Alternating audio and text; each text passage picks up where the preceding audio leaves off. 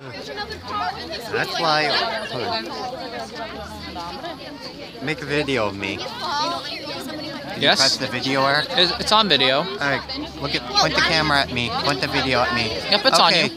Okay, so Halloween is a very violent holiday. That's how violent it is. Getting run over by a truck. Yeah. So Halloween is a very violent holiday.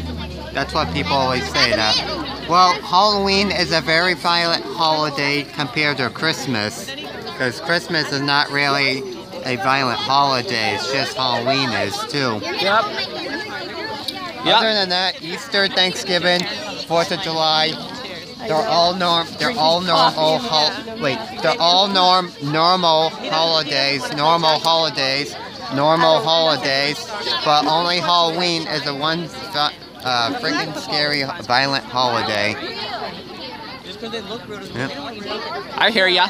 Yep. So Halloween's a very violent holiday. Yep. But other Christmas, it's like a peace holiday. Christmas is like a peace holiday, but It is. Halloween is pretty scary holiday. But Yep. as long as you have trick or treaters come over here, you'll be fine too.